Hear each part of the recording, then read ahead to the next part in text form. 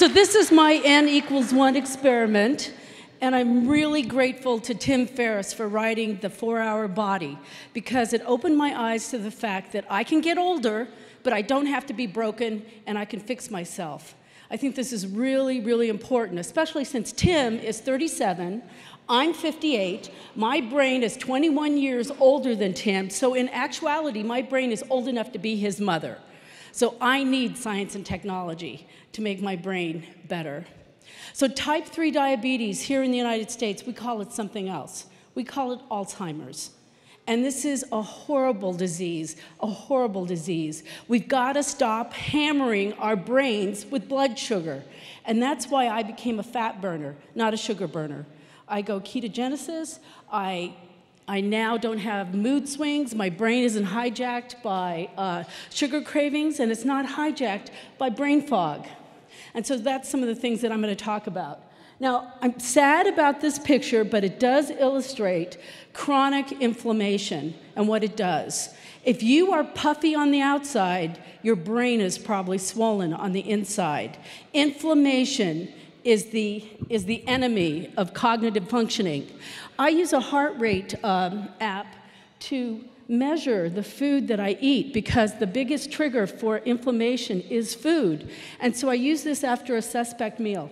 I'm 63 uh, beats per minute, but when I eat suspect foods like these, then my heart rate goes up to 85 to 90 beats per minute. I can't do vegetable oils. I can't do nightshades. Starches, sugars, fruit and some dairy really bother me. And you're probably looking at this thinking, that's a lot of deprivation. What the heck can she eat?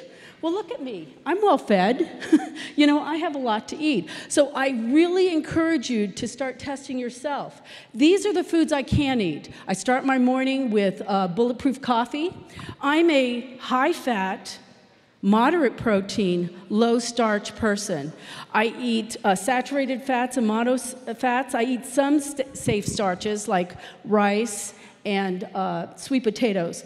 But I also eat a lot of vegetables. And occasionally there's a little bit of chocolate in there too, because apparently that doesn't give me any problems. But I feel deeply nourished when I eat this way. Now, we want to get that nourishment to our brains. We want to get the oxygen and those nutrients up here. And to do that, I do wind sprints at least once a week. And that helps keep my cardiovascular system fit. So it's the delivery system. And human growth hormone, we lose it as we get older. If you don't have it, your cells die.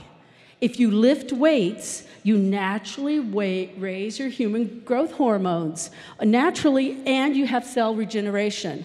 That's really, really important. Cold thermogenesis, it's sitting in cold water. And it sounds a little crazy, but remember that inflammation and type 3 diabetes? It makes you more insulin sensitive, and it also helps you with uh, inflammation. Now, the production server's down. Your body says, Thank you, brain, for telling me about this threat. Now I'm going to shut you down, and I'm going to shunt all your resources to your legs so we can run the hell out of here. You don't want that. You want a resilient brain. Uh, I'm going to talk about some ways that you can build that resiliency so that when these stressful things happen, you're not hijacked by adrenal glands and you can control it.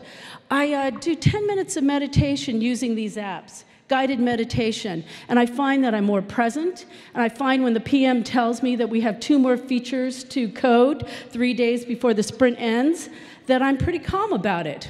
And when I'm working, I use focus at will. It allows me to uh, shunt out the distractions, but also it has a Pomodoro method built in. It has a timer. I do 42 minutes instead of 24 because developers, that's a better time thing.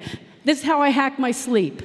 Earbuds, eye mask, dark is better. Fitbit tells me how much I sleep. Uh, if you have a significant other that might snore, this is very helpful. And here's the software. Uh, I use um, I use Flux and Twilight for amber displays on my electronics and brain entrainment to help me fall asleep. So these are some of the software apps I use every night. So be excellent to your brain. Manage your inflammation because a swollen brain is bad. protect your brain from high blood sugar because type 3 diabetes is really horrible. And also, a rested brain is a resilient brain. Thank you.